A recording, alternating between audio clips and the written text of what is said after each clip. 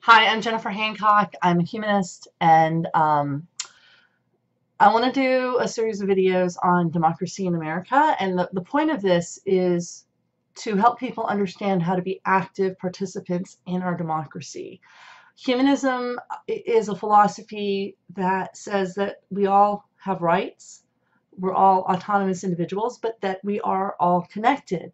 And uh, most humanists feel very strongly about democracy, that it is one of the better systems of governance because it allows individuals to have a say in how they are governed.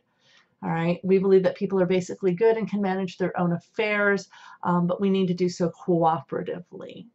So, in that spirit, um, you know, you cannot participate in your government if you don't understand how the government works, how it's set up, where the levers of power are, and how to press those levers of power so that you can you can participate in your own governance. Right, and um, you know it's 2016 right now, and we've just we're just finishing up with the primary season that was very very difficult for both the Republicans and for the Democratic parties. Um, and there's a lot of people who seem to think those are the only two parties that exist. They're not. There's several parties depending on what state you're in. Um, the parties vary from state to state. So what I wanted to do is kind of provide an overview lesson on you know, not just how the government is set up, but how the state is set up and how the counties are set up and how the cities are set up. Because we don't just live under the federal government. We have all these different layers of governance and different jurisdictions that they have and, and things like that. So understanding how those governments work, how they work together and don't work together in some cases, and where those levers of power are for you as the individual trying to maybe work with the government to get something done or to create change that you think needs to happen is absolutely critical because without that information, you can't participate. And if you can't participate effectively, then you're going to feel like you don't have a voice. Right? And even in systems where you do have a voice, if you don't know how to express yourself or you know what the mechanisms are for you to have a say you're still going to feel like you weren't heard or that the system was unfair and so forth. And that might not be the case at all. It might just be that you know the, the lever was hiding a little bit. And the people that are in the system know where the lever are but if you're coming in from the outside you have no idea. All right so that's what this video series is designed to do is to help you do this now I'm doing this video very very quickly I'm like not dressed in my normal clothes um, I'm also not doing this from a script. So my hope is I wanted to get this out quickly because I think it's needed now. And my intention is um, in the fall to do a more professional version of this. All right, with slides and when I'm dressed properly and so forth. All right. Um, but if someone wants to write a transcript for this and, and provide that, that's great. I'm going to post it in two places. I'm going to post this on, on YouTube, so it's widely available. But I'm also going to have a bit available at my company, Humanist Learning Systems, in one of my online, online classrooms. There is no sign up for it. Um, you just log in as a guest. But the reason I'm putting it there is because I'm going to be including some additional material like links to our Constitution and links to the Library of Congress so you can see where information is. Links to some books that I think are very, very helpful to understand the philosophy of why things are set up the way they are. Um, because a lot of people are really confused about things and they're suggesting changes that would do the exact opposite of what they want to have happen. And it's not that those changes aren't good. It's just that you have to understand the philosophy of why they were set up the way they were to make a decision about whether changing it is a good idea or not. Because all the changes that are suggested um, have trade-offs. And if you're not if you don't understand what those trade-offs are, you're not going to make a good decision. So I'm going to have links to a bunch of that stuff in the back. Now, a quick caveat, I'm a Democrat. Um, and I've been a Democrat all my life. Now, my father wasn't a Democrat, he was a Republican, but when he was a Republican, it was like a libertarian party. Um, and it, it wasn't, didn't have the racism problems that um, kind of crept in and then went away and then crept in. Um, but the point is that a lot of what I'm going to be talking about is specific to the Democratic Party, but it's actually applicable to all parties because the reality is the Democratic Party and the Republican Party are structured in much the same way and they operate in much the same way. Sure, they have slightly different rules about things, but the way they're organized and the way they work and the reason they are considered major parties as opposed to a lot of the other parties which are minor parties has to do with how they're structured. So understanding that, you know, if you don't like those parties, that's fine, but understanding why they work will help you if you want to create an, a, a, an actual third party, right?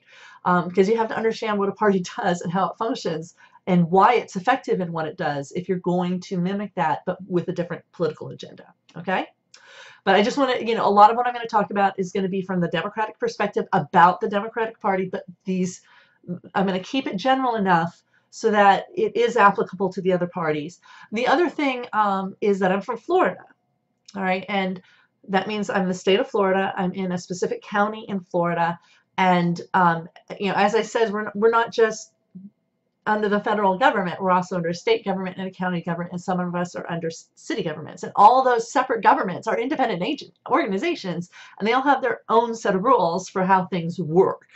All right. So some of the examples I'm going to give are from the state of Florida. All right. Um, but again, I'm going to try to make them general because some of these things are, you know, the general information is the same from state to state, you know. Um, and so it is applicable. Just be aware that some of the examples are going to be specific to the state of Florida and some of the language I use to describe some of the mechanisms through which things get done is going to be specific to Florida, but there are analogs of these systems in other states. They're, they just might be called something slightly different, okay? So let's get started. If you've had high school and you had a government class, or you've read up on it, you know we have three branches of government, right? The federal government has three branches of government. We have the legislative branch, the administrative branch or the executive branch, and we have the judicial branch. And the legislative branch is where legislation gets written, the executive branch is where the legislation gets carried out, and the judicial branch decides whether or not it's legal. All right. Um, and that's the federal government, except that the federal government is this huge behemoth. it's like monstrous. Within the legislative branch, we have two houses, you know, the House and the Senate, and they have all their staff underneath it, and all of those, uh, the House and the Senate all have committees, and they have subcommittees of committees and sub subcommittees of committees, and um, and so forth. Right, and uh, making laws requires them all to agree. And usually, what happens is when a law is passed, no one likes it because no one got what they want because it's it's by definition, a compromise between different people with different ideas. Now, a lot of people get really frustrated by that um, because they didn't get what they want. But that the fact that we have to compromise to get legislation passed through this system of subcommittees and committees and then finally you know the the branch and then the two branches have to agree and then they have to go into committee to just to, to fix the differences in their bills that's a feature like everybody looks at that and thinks that's a bug the fact that we can't get legislation passed is a bug. No, that's actually the way it was designed. It was designed so that no law gets passed unless we absolutely have to pass something. All right. Um, because you don't actually want laws just changed higgledy-piggledy. You want them to be deliberative and really necessary. All right. So the the fact that we have to argue and that we can't all agree and that we can't get along and that in order to get things done we have to compromise, that's the feature all right, so if you're getting frustrated by that, understand it's that way for a reason because the alternative is to have um, an authority, and we usually in the US we try to imbue our president with that authority um, to make them authoritarian, which is that they decide what happens and they just implement it.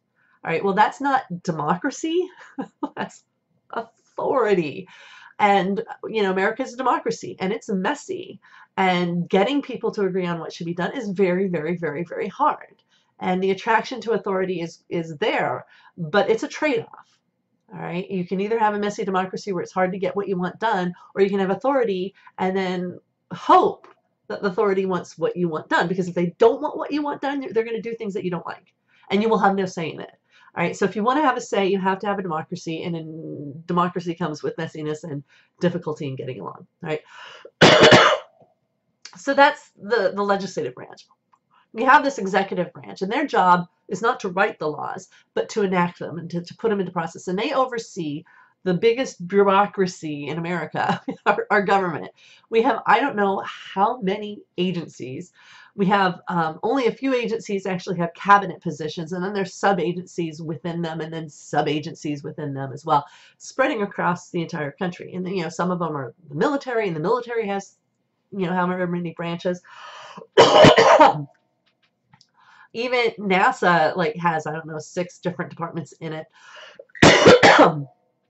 or NOAA, I mean. Um, you know, there's fisheries, there's the weather, things like that. So it's big. Okay, so the executive branch doesn't get to write the laws, they're supposed to enact them. And they are um, the head of a massive bureaucracy. All right, now the interesting thing about it is though that we elect them, Congress does not. So like I used to be the executive director of a nonprofit organization and um, I had a board and the board was my boss. They were the ones who hired me. My job was to to put into action and manifest the things that my board wanted to do. Now, there was a give and take there. I could tell them what I thought needed to happen, um, and they could agree with me and not agree with me. I could provide input into their deliberations, but ultimately they had the final say. All right, and and the president is kind of like an executive director of a nonprofit organization. They are supposed to do what Congress wants them to do, except that in the United States, we we elect the people elect our president through popular vote through, you know, um, the electoral college. So it's not directly, you know, there's kind of a, a pathway there that winds, but ultimately the president is responsible to the people now, they have the ability to go back to Congress and say, hey, I'd like to have this done, and I think this should be our budget priorities and stuff like that. But ultimately, it's Congress who decides the budget priorities and, and passes legislation. Now, the one thing that the president does do is they have the right to appoint justices to the U.S. Supreme Court and to the federal benches and to the federal courts. Um, and but they they can only do that with consent of Congress. All right. Um, and so those are our three branches, right? The, the legislative branch, the executive branch, and the judicial branch. Um, but that's not the only government that you live under. You also probably live in a state. I happen to live in Florida. I have a governor. I have two houses, uh, a state senate and a state house. I've got agricultural commissioners that are at the state level and attorney general. I have a lot of state level people I can elect and I can also elect my representatives in the House and the Senate. Okay. Now, in addition to that, I'm also in a county. And my county, different counties across the country have different governmental structures. My county happens to have a county commission. All right, so I can elect a couple members of those commission of the commission, uh, depending on what district I'm in. Um, some people also live in a city, and a city might ha has their own government with their own elected officials. Now, what you end up with as a citizen is you are under the jurisdiction of several different governments at any given time. You're under, you may be under a city, you may be, you're definitely under a county, you're probably also under a state, depending on where you live, um, and you're also under the federal government. And the, these different governments are all autonomous and independent. And they have overlapping jurisdiction, meaning they overlap in what they're responsible for. And they also collaborate on things, and then they also don't collaborate on things. So let me give you an example of this. Um, Medicaid. Medicaid is a federal program, right? It's was the law was written by our congressmen and, and, and our senators and passed and signed into law by the president and they allocate money for it and the money goes to the states. The states administer the program and um, they, every state administers it slightly differently um, who they cover, things like that. There's some guidelines from the federal level, but uh, ultimately it's the state that enacts this. So there's two governments involved in Medicaid if you're a Medicaid recipient. All right. Um, and we and we can go on, you know, um, it, you know, who do you call when you've got a problem? Well, I was stalked. Well, my state has stalking laws. Is it covered under that? Um, actually, no, because my stalker was in a different state. So the jurisdiction for my problem was not the state or the county, it was the federal government because the federal government laws um, cover, have jurisdiction over interstate issues as opposed to in-state issues. So the state and the county couldn't help me with my stalking problem, the federal government had to. So when you interact with the government, it's in order to be effective, you have to know which government you need to interact with. And that's not always clear. And it's very easy to get very frustrated, but um, don't be. because the hallmark of how our democracy works in America is we do distribute power. Um, we don't like power concentrated in one place, so we distribute that power uh, to make it closer to the people. All right, because you would not want your local library run by the federal government. It wouldn't make any sense. Um, the libraries are, are local. They might get federal funds, but they're run locally by local boards and local officials.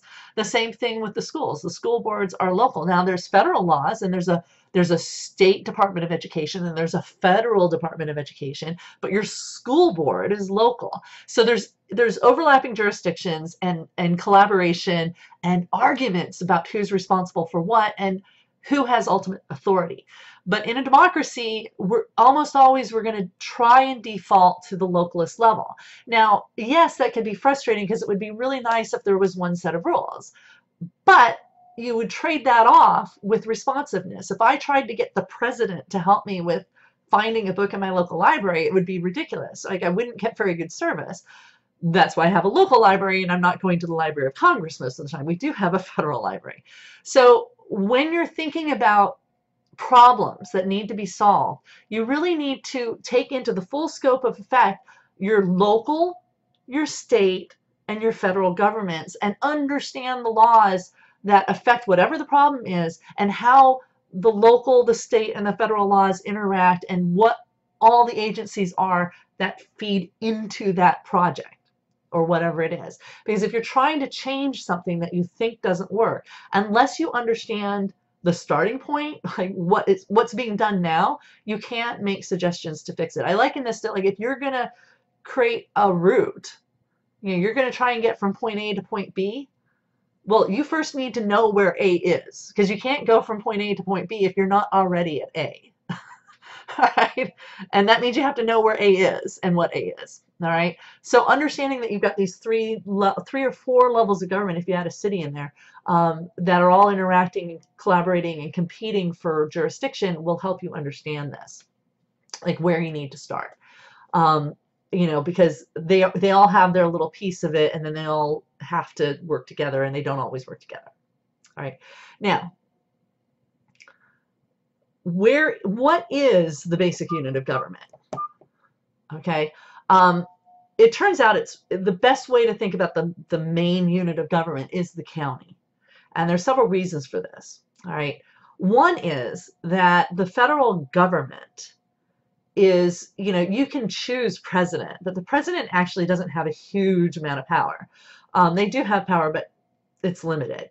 The real power to create laws is in the Senate and House. Well, the Senate's seats are statewide positions. So everybody in the state votes on senators.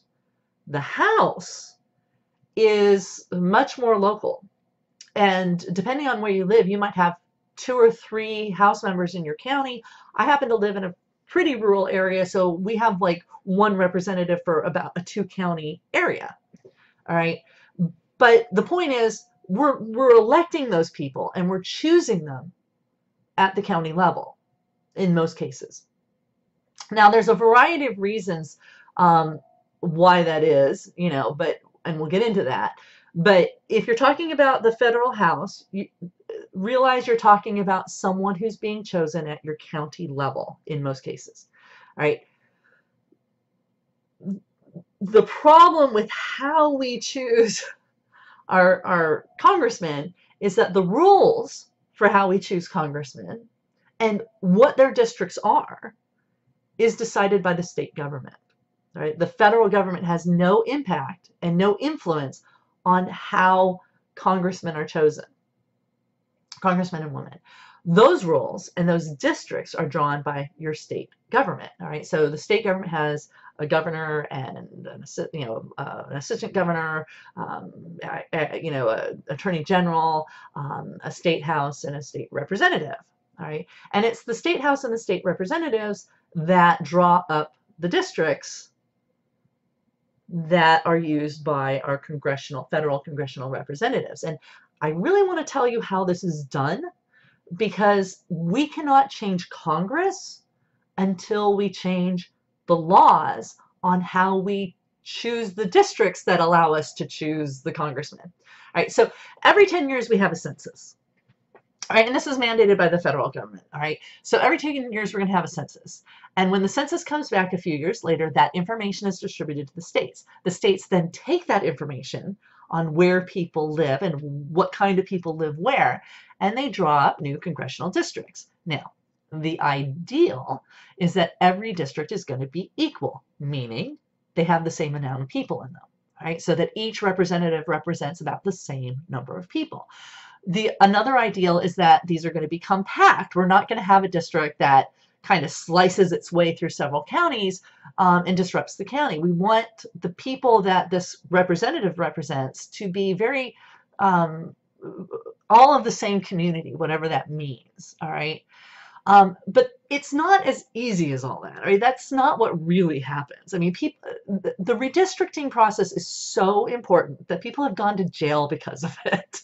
like if it's not done well, if it's done in a corrupt way, um, it, it's a big deal. Right? So if you're talking about changing Congress, you have to talk about electing people to the state house and state senate who will back a fair redistricting process because what we have now is what we call gerrymandering. And I'm sure you've heard this term and I'm sure you know it's negative, but what does gerrymandering mean? Well, it has to do with how we draw the districts.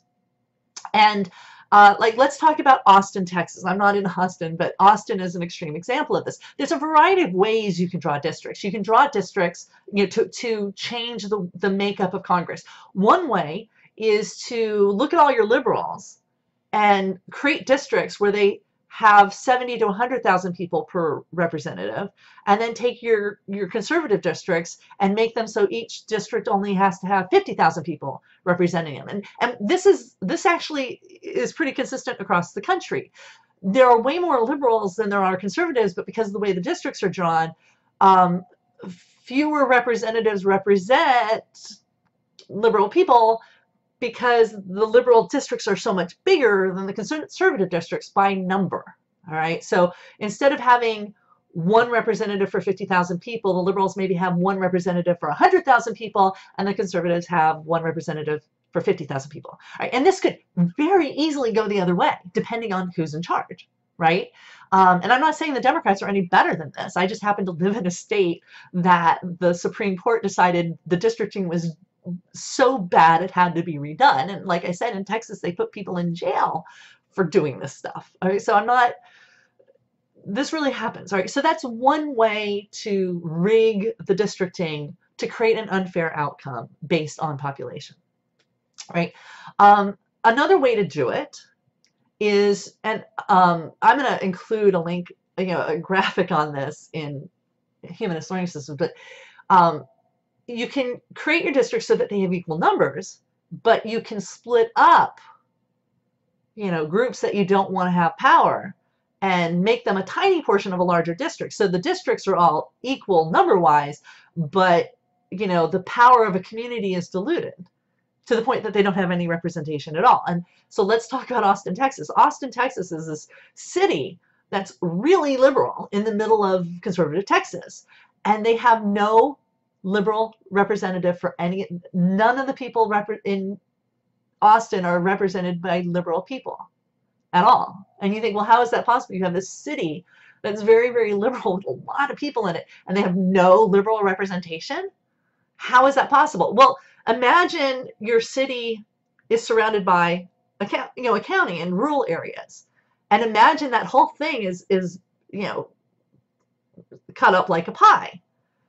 Well, the larger part of the pie is out in the country, and the tiny part of the pie is in the center where the city is. And if you do that enough, then each of those districts might have the same number of people, but the liberals that are in the city have been divided up into small enough communities where they are now a minority in their district because the district includes not just the, a tiny portion of the city and a large portion of the surrounding countryside. All right. And that's how you can use districting to create really, to just basically prevent people from being represented by people who actually represent them. All right. Um, and again, the rules for this, and this is done at the state level. The federal government has no control over this except to say it's fair. They don't even have the ability to say it's fair or not fair. The, the fights over this are in the state and in the state courts. All right.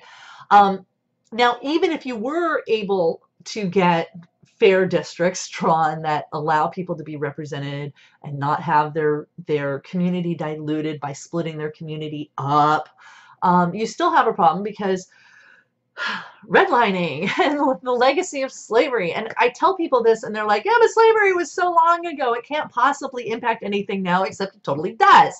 I live in Florida. I live in a county that was founded, not founded, settled with slave owners. All right. And at emancipation, yeah, people were emancipated and they were turned into sharecroppers and they were given bad land along a strip of land. And on top of that, even when the sharecropping ended and um, we had the civil rights movement and people were no longer forced at gunpoint to pick celery for white, you know, white landowners in the 40s. Yes, it continued to the 40s. Um, you then had redlining. and the, the, the effect of redlining was to keep the black community into certain areas and to keep them away from the whites. Well, the other thing this did is it diluted their political power by making, you know, like Remember what I said about Austin, about how they kind of split up the community and took a little portion of that community and shoved them with a bunch of other people that didn't agree with them politically? Well, and so that they, they had no representation. Well, that happens to the black community all the time. And it's the reason it's possible to do that has everything to do with the legacy of slavery and with sharecropping and with redlining. All right. So in order for the black community in my area to have a black representative, you either have to trust the white people who are here who are descendants of slave owners and aren't even aware um, to vote for someone like that. Um, they actually do create special districts so that the black community's vote is not diluted. Right? And that's a good thing. Right? It's called it's a good thing. All right. And and the the problem Florida had in the last couple of years was because they were diluting the black vote and distributing it out so that they ended up with representation they didn't want. All right, so all of these things have to be taken into account, and we do this once every 10 years. And if your state government is not dedicated to doing this fairly and ethically, they're going to do it in a way that benefits their party. And that's what we had happen in Florida. That's what's happened in Texas. It's happened in almost every red state. And I'm not saying like Democrats don't do it. Democrats absolutely do this too. Um, one of the things I want to see happen is I'd like to have independent commissions, bipartisan independent commissions come up with these districts um, so that we don't have this partisan impact on our districting because it really is that important. In order to get that done though, we have to elect people to the state government willing to enact the law that changes how we do redistricting. All right. And that's not easy to do because it's not just the congressional districts that were done this way. Your state houses and your state representatives and your state senators also have districts that were also determined by the same redistricting process. All right. So in order to overcome these dis electoral disadvantages where a liberal might have to get 56 to 60% of the vote in their district to overcome the structural inequalities built into the district by gerrymandering. You have to turn out a huge number of people to do that in order to elect someone who is favorable to independent commissions for redistricting. But until that happens, you're not going to see changes at the state house and you're not going to see changes in Congress because the state decides what the congressional districts are. And in order to change that, you have to change the representatives at the, at the state house and the state senate who draw up those districts. And you only can do that once every 10 I mean, you can, you're electing state house people every all the time, but the redistricting only happens once every 10 years. And then you're stuck with those districts for the next 10 years until the next census is done. All right, so this is hugely important.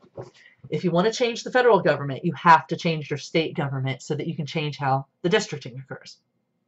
All right. Um, that's where that lever of power is. Okay. Now, the next thing I want to talk about has to do with how we, the mechanics of actually voting.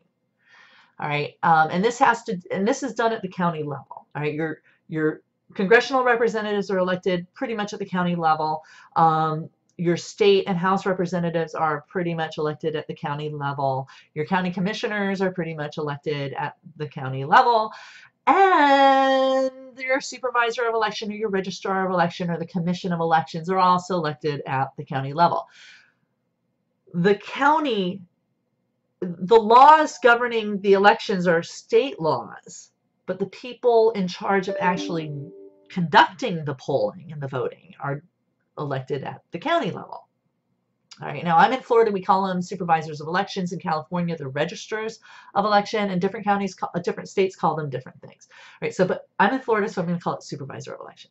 All right, so what the supervisor of election does is they've got all of these maps, right? They've got the congressional districts, they've got the state house districts, they've got the state senate district, they've got um, like we have mosquito control districts, we have count, com, county commission districts, um, you might have city district, city representatives or city council districts. You have all these different districts and they all have different boundaries and they're not all the same. All right. And then, and some of these districts might be in different, might straddle two counties. Right. So someone in Pinellas County is gonna vote in the same district as people in Manatee County are in Florida right? Because there's one particular district that is gerrymandered to make sure the black community actually has representation and it actually straddles a couple of counties, right?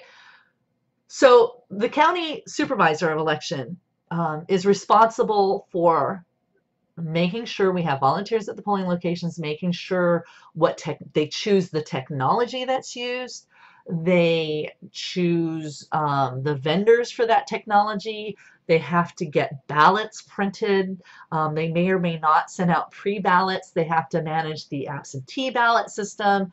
Um, however, your whatever the laws are that govern voting in your state, the county person responsible for that has to make sure all of that happens. And it's a huge job because one precinct, like the basic unit of democracy is the precinct, right? Where voting actually, this is when you go, wherever you go to cast your ballot, right? That's a precinct. And a county might have a bunch of different precincts, and each precinct has their own ballot. And within that precinct, there might be three different ballots depending on where in the precinct, if the precinct is divided up into three different voting districts for different things, you're going to have a variety of different ballots. It's a logistical nightmare. It's a logistical nightmare. All right. So a lot of when we talk about things like voter suppression, that was a big topic this past year in both parties. All right. Almost always that was happening at the actual polling location, which means it wasn't the party that was suppressing the vote because they don't have control over that. It's the county supervisor of election that's doing that and they may or may not be trying to suppress the vote. In some cases, they are. I mean, I live in a county that was, you know, has was founded on slavery. When I first moved here, they did not want me, a white woman, to register as Democrat. Right? And I, they wouldn't. I couldn't figure out to vote for three years because they did not. They actively suppressed the Democratic vote when I first moved here, because the Democratic vote was the black vote, right? And they were actively suppressing the black vote here. Right? They don't do that any. I'm, I'm, sure they still do it, but it's not nearly as bad as when I first moved here. All right, uh, it's a lot easier now to vote Democrat in this county than it was when I first moved here. All right, but when you talk about suppression of, of elections, suppressor voter suppression, you're talking about something that's happening at the county level. Yes, there might be a state component to that. All right, like my state does not allow ex-felons to vote. And there, I think there is a mechanism for them to get their voting rights back, but it's convoluted. Um, they also uh, purge our voter rolls at the state level and then give that information to the county levels to help them purge their voter rolls every election. And it's almost always minorities and black people who are being purged from the voter rolls. So there is an active voter suppression that does take place at the state level. And again, there are state election officials that have gone to jail in the last 10 years because of their activities at the state level. But most of what is complained about is actually either intentional suppression at the county election level or just flat out incompetence. All right. And it's important to understand the incompetence part and not because the supervisor is necessarily incompetent, but because the task of what they're doing is astronomically complex, right?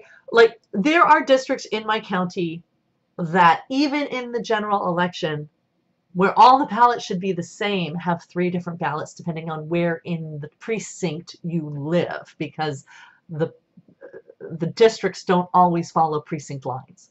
All right, so you're talking about an amazing amount of paperwork that's got to be printed, paperwork that then has to be distributed correctly into the precincts for their polling locations, technology that has to be bought, tested, and, and distributed, the training of volunteers that then are taught how to make sure it goes smoothly, and then the tabulation of all of that um, back at the county. All right, and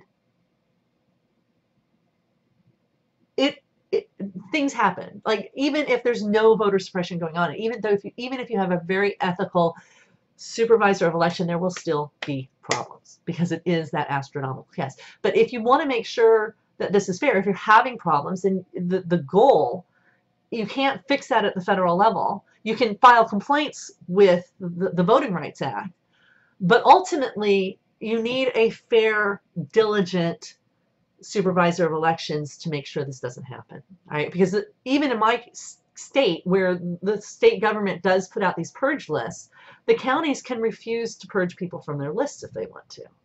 Like they don't have to follow the state on that. So if you want fair elections that are well run, you need to have a competent person or persons in your super in your elections office, your local county election office.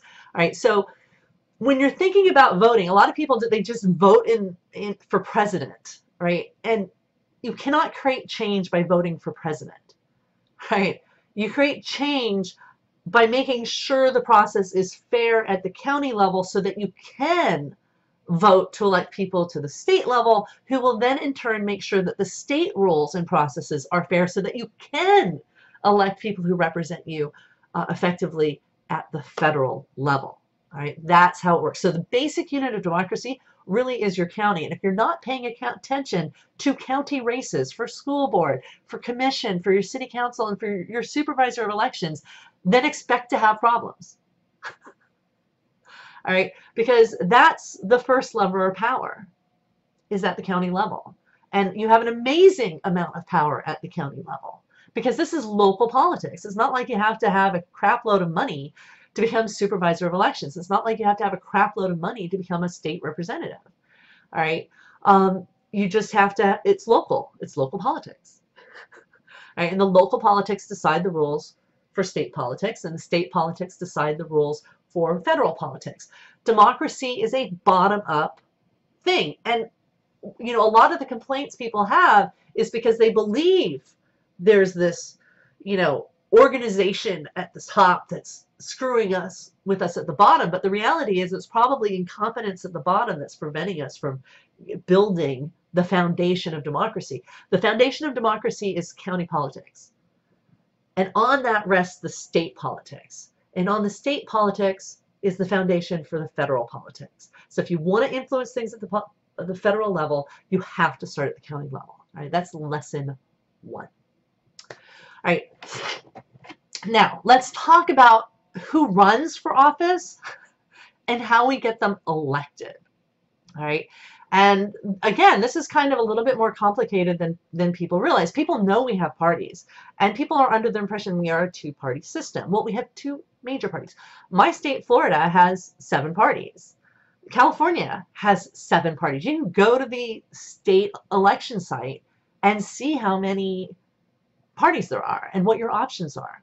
Now, the reason the major parties, the Republicans and the Democrats, are considered major is because they have affiliate groups in every county in this in every state in the country.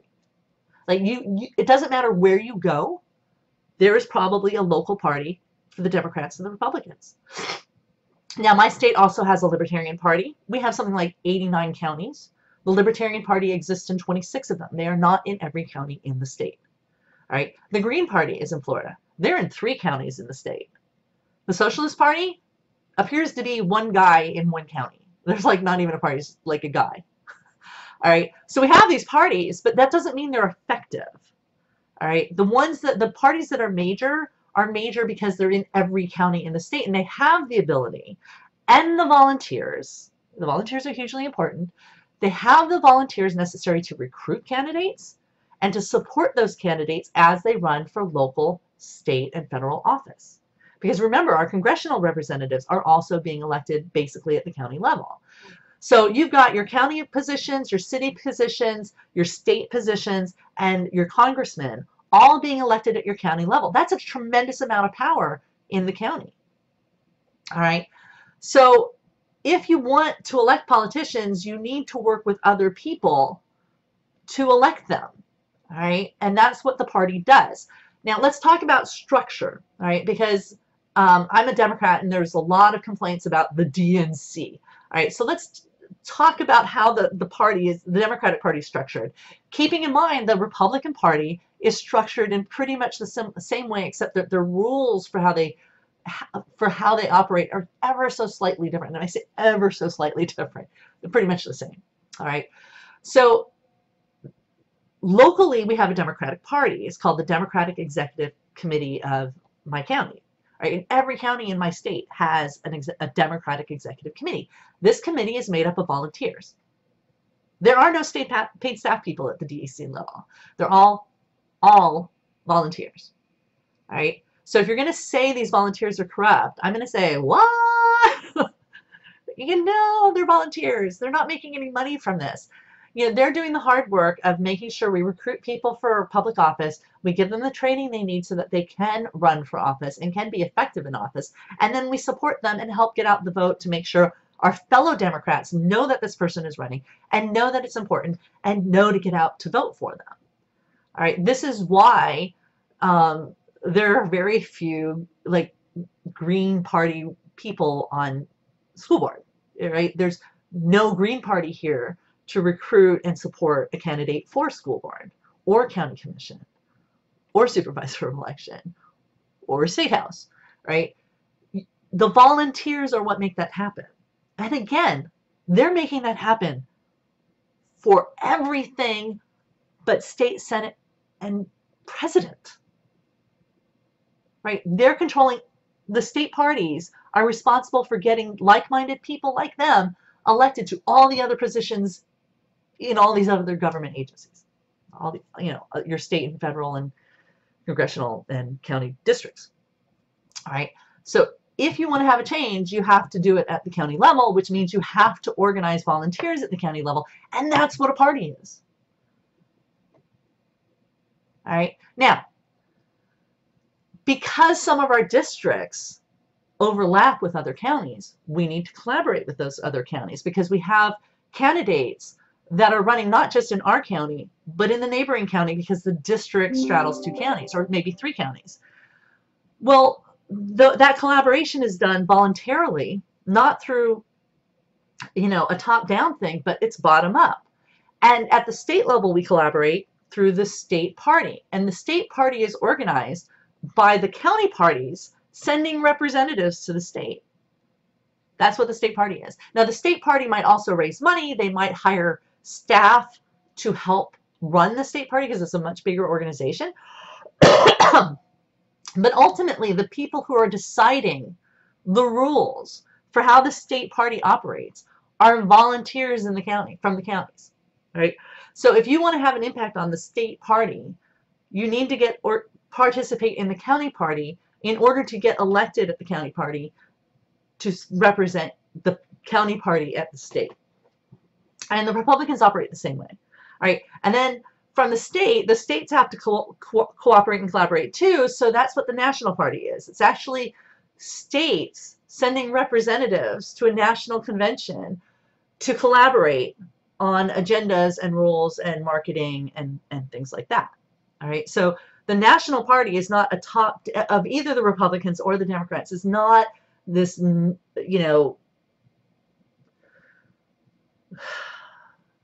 it's not an oligarchy dictating what happens down at the county level. It's the exact opposite. You have county people getting elected to state and state people getting elected to represent the state at the, the national party. All right. If you wanted to take this over, it'd be very easy to do. You just have to take over the counties and then get yourself elected to the state and then use the state to get yourself elected to the national. And then there you are. You're done. It's surprisingly easy to do because most of the counties are desperate for volunteers.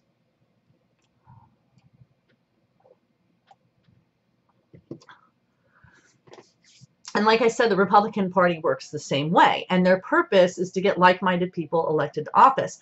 So if you don't like the Democrats and you don't like the Republicans and you want more, you want a third party choice, the way you do that is to not focus on electing a president. The president is probably the least, con I mean, they're, they're very consequential, but in terms of actual power to change how, how our democracy functions, they have no power to do that at all.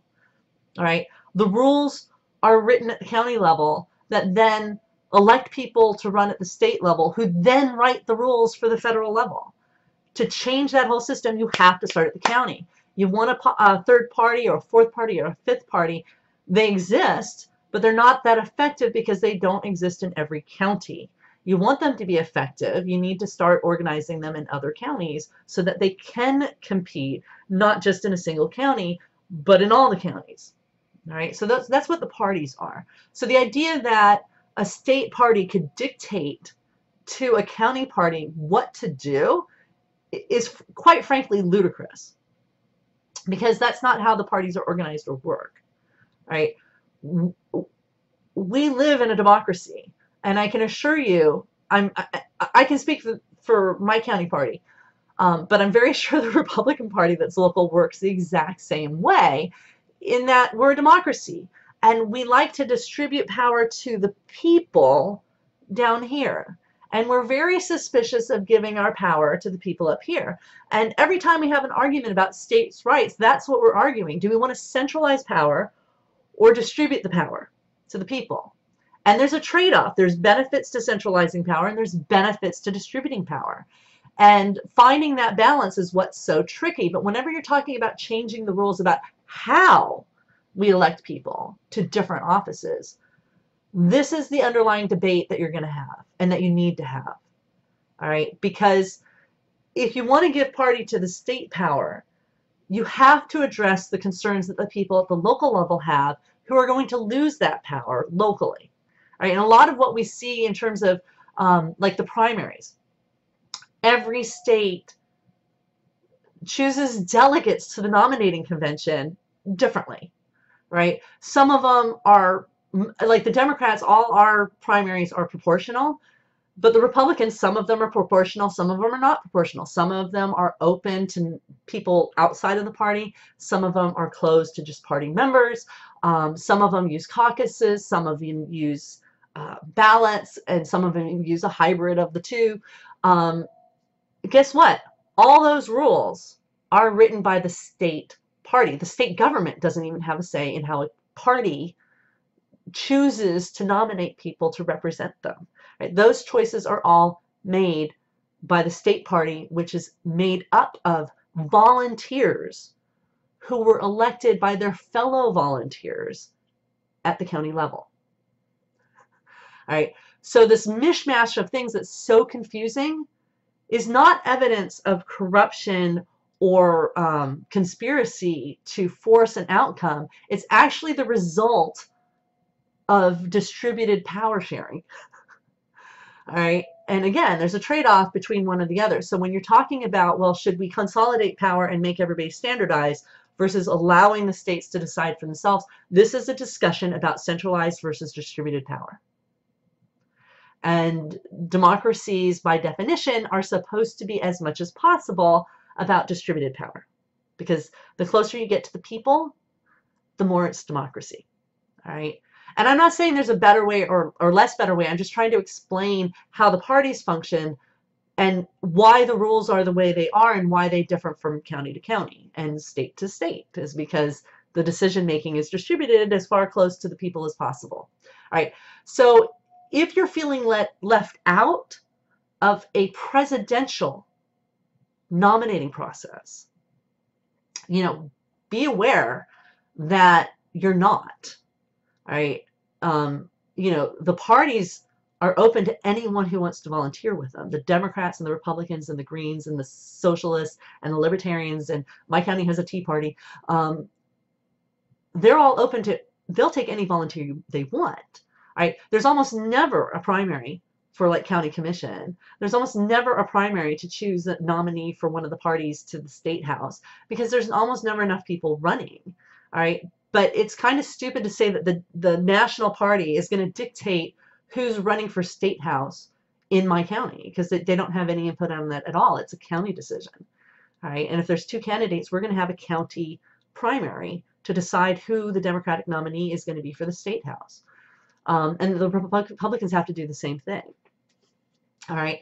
So you want to get involved, you're invited to the party. Choose your party and then participate. But if I have a party and I invite you to it and you refuse to come, you say, I don't want anything to do with your party, then you don't get to come to me and complain that I didn't include you.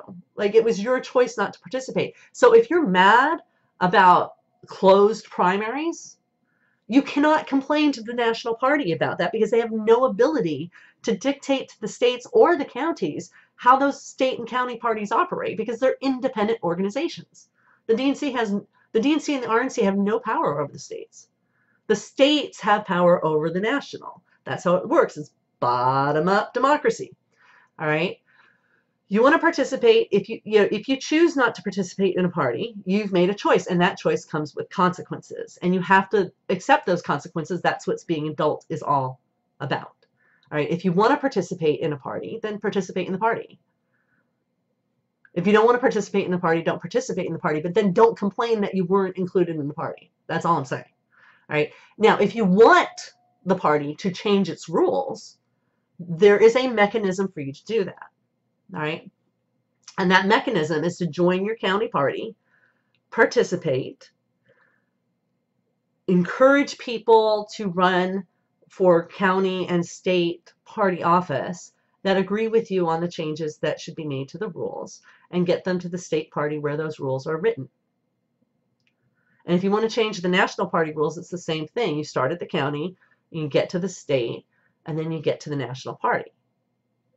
All right. But the national party does not have the ability to dictate to the state parties how they operate. If you want to change how the parties operate, you have to change the way the counties operate so that you can get people to the state party, so that you can get people to the national party. And it's surprisingly easy to do because there aren't a lot of people volunteering in the county parties. All right. So those are the parties. Um, and again, their job is to find like-minded candidates and support them in their runs for office. And most of the work is done at the county level. There's we only need to collaborate at the state level for state level offices like governor and um, and attorney general and our state senators. Right. All the rest of the work is done at the county level. All right. And the only reason the state parties need to coordinate is to coordinate for the national election, which is for president. All right, and this is the same for all the parties. All right, so if you're looking at a third party and saying, well, why aren't they effective at nominating someone for president? It's because they're working at it from a top-down standpoint, and that doesn't work in a democracy. Democracies are bottom-up. They really are. And the reason the major parties are effective is because they start at the county. The foundation of democracy is at the county level. All right. And now let's talk about money in politics. All right. Um, running an election is not cheap. All right. Even at the county level, we have candidates in my county, my rural county, spending $100,000 to get elected to county commission. $100,000 to run for county commission. It's insane. It's an insane amount of money. All right.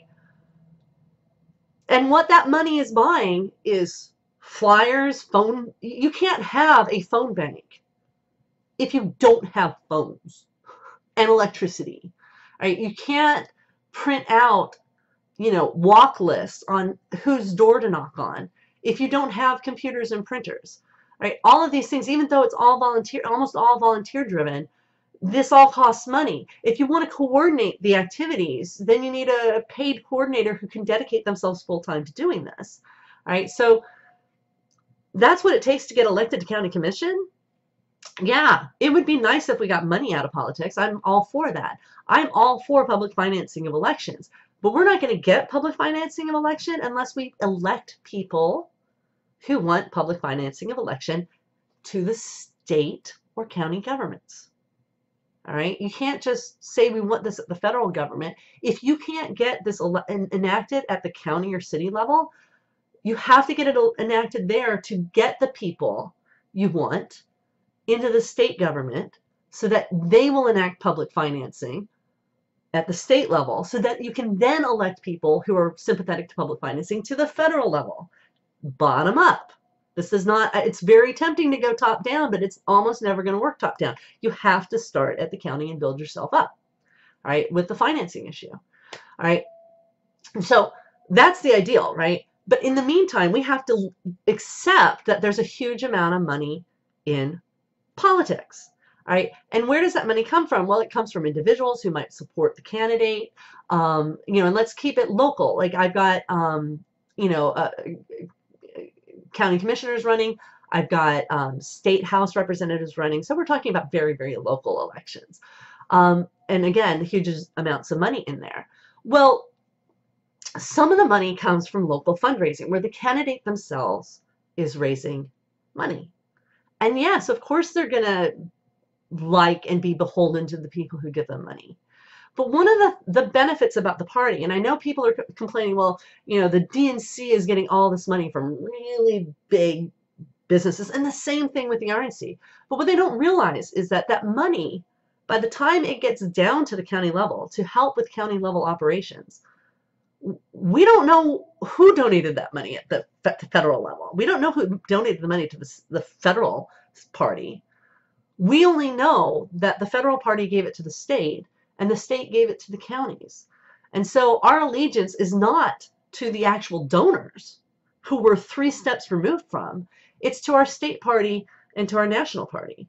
And that's actually better than having individual candidates beholden to individual business owners who gave them money individually, right? Because at that point, they're representing, able to represent, and they know their power base comes from the party itself. And the party itself is made up of volunteers, right? Not corporate businesses, volunteers, the people. Again, distributed power. So even though there's large sums of money being raised at the this national level to these parties, by the time the money comes down, it's completely irrelevant to the person running for county commission or you know state house because they don't know who gave money to uh, the DNC chairman or the RNC chairman. All they know is that their party is helping fund them and get them elected. All right, and that their party is made up of people who are volunteering their time. All right. So if you're really concerned about I understand the concern about the big money and it's a necessary evil at this point, but getting hugely worked up about it at the in the party structure is um, is misplaced at this point because it's preferable to the direct donation from businesses to a candidate, if that makes sense. Right? It's not ideal, but at least it's so the power, the the influence is diluted to the point it's non-existent by the time it gets to the county level. All right. Um, now, another way to influence uh, your politicians is not just to be in a party and supporting them and working to help get them elected so that they are grateful to you for having getting elected and they know who their constituents are because you worked with them and met them and hung out with them for several months before the election. The other way is what we call um, special interest groups, all right, and PACs, um, political action committees, and things like that. All right, now the PACs and the super PACs have a really bad reputation but they really only have a bad reputation for the PACs we don't like. Most of us love our PACs, and we hate the other people's PACs. All right. Um, and it's kind of important to realize that. Like, I'm a member of several PACs, And all a PAC is, is a group of people who have gotten together to push a particular agenda. So I'm a humanist. I support, you know, secular PACs, PACs that promote a secular, non-religious agenda to take religion out of, say, child abuse, um, you know, to get rid of the religious exemptions for child abuse, for instance. Um, I collaborate, donate to lobby politicians, and yes, that involves giving them money because we don't have public financing yet, um, to support their candidates, the candidacies of people who support this agenda. All right. And there are going to be PACs you agree with and PACs you don't agree with. Um, but even in a public financing of elections scenario, people still have the right to peacefully assemble and have their voices heard. And that's ultimately what a political action committee is. Now, the super PACs and stuff like that are are these community organizations on steroids. All right. Um, but the idea of getting together with like-minded people on a shared agenda to influence and talk to politicians about that shared agenda to try and get that shared agenda enacted is democracy all right the corrupting influence of money is absolutely there um, but even if these political action committees didn't raise money and didn't distribute money to candidates they'd still exist as a way for people to get together for common cause for political purposes. Right. So one way to do that is through the party. Another way to do that is through political action committee. Um, you know, and again, yeah, the money can be a problem, but um, you know, what's at issue is is whether or not the people have the ability to get together and to combine their power and their voices to lobby on behalf of whatever the political agenda is. And that is an absolute yes for democracy. Um, you know, the question becomes how do we maximize the good and minimize the hard harm? And that's a question for another time. What I'm going to tell you, though, is that joining and becoming active in various political action groups is not a bad way to exercise and leverage power.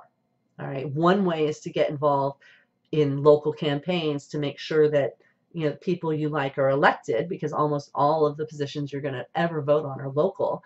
The other way is to you know once people are elected not give up on them and not think your work is done but continue to push them on issues that you are concerned about.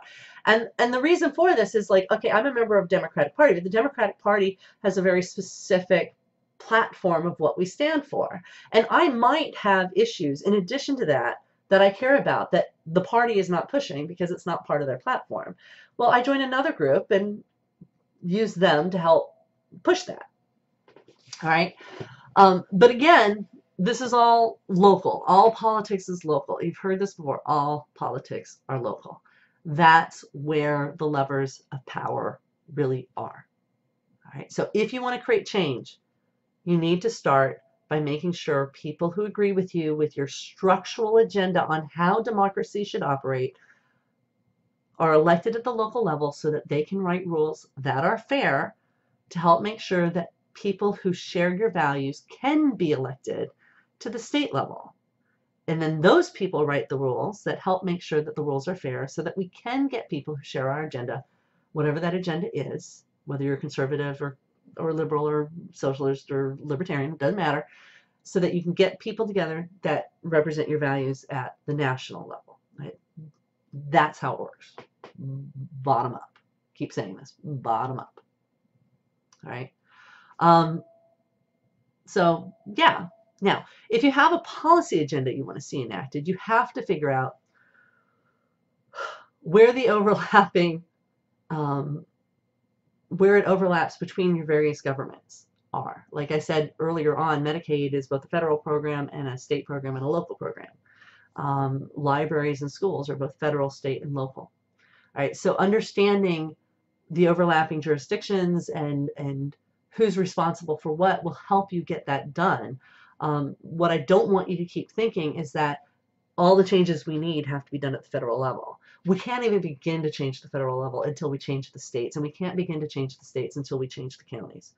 That's how democracy works. It's very, very frustrating. It's very, very messy because we distribute power. It's not centralized, it's distributed. All right. And again, feature, not a bug. Now, one last thing about this, about being an active participant in democracy. Because power is distributed, it means that decision making is distributed. And not everyone's going to agree with you. Like you might want a particular policy to be enacted. Um, I would like there to be no religious exemptions for child abuse, for instance, uh, among other things. I would like fair redistricting. I would like independent commissions to bipartisan commissions to do districting. I would like there to be multiple parties. I would like there to be public financing of elections and any number of things that I want to see happen. Right? Um, but there's people who don't agree with me on that. Right? Gun control. We don't agree with it. Abortion rights. Americans don't agree on that. There's any number of things we don't agree on. And even at the county, we don't agree on things, right?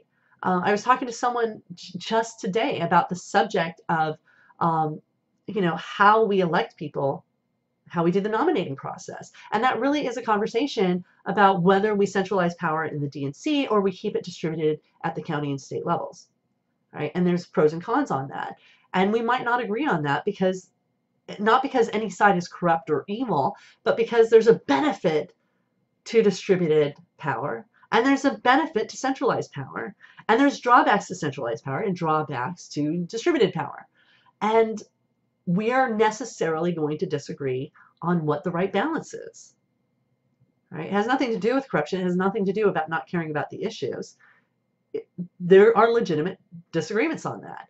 And understanding that those at their core these disagreements can be very very rational will help you understand that the need to collaborate and compromise a lot of times in politics compromising is like considered a bad thing but it's a necessary part of how we function as a democracy you're never going to get your way and if if you want your way so badly you're willing to convert a democracy into to a dictatorship so that someone can dictate what you want to see happen, you're making a devil's bargain. All right? Because the next dictator might not agree with you at all. All right? So the whole point of having the decision making distributed is to prevent dictatorships from happening in the parties and in our federal government. All right? It is a trade off right? And that trade-off is that if you're going to have distributed power, in order to get things done, you have to compromise, period, All right. That's not a bad trade-off. And most people would say actually that the compromises create better legislation. You might not get everything you want.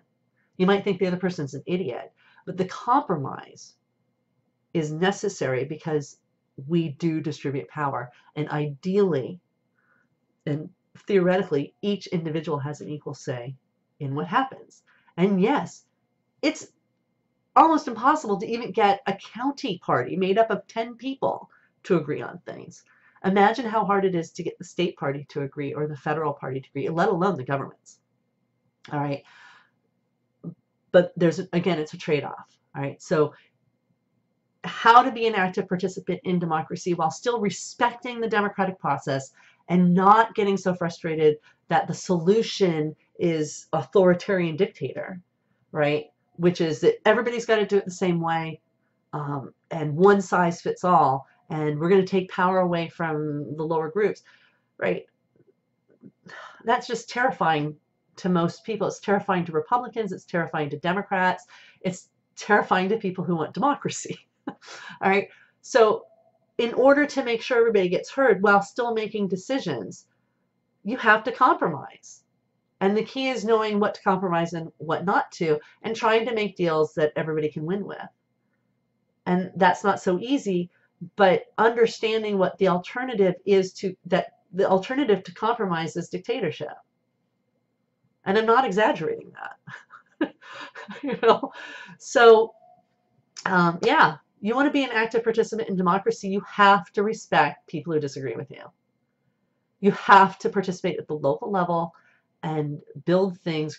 We always talk about grassroots. Yeah, that's what it means. And it's incredibly hard to do, which is why only two parties have managed to do it. and one of them is currently kind of falling apart. All right, it's very hard to create a national movement that is fundamentally founded in the power of the grassroots. But that's exactly what the parties are. It's exactly what the parties are. And it requires compromise. All right. So um, that's a basic overview on how to be an active participant in a democracy. And again, I apologize for it not being like this is not a professional video, but I wanted to get it out there to help people understand uh, what happens, why it happens, and where the levers of power really are so that you can create the change you want to see, whatever that change is. All right. Thanks.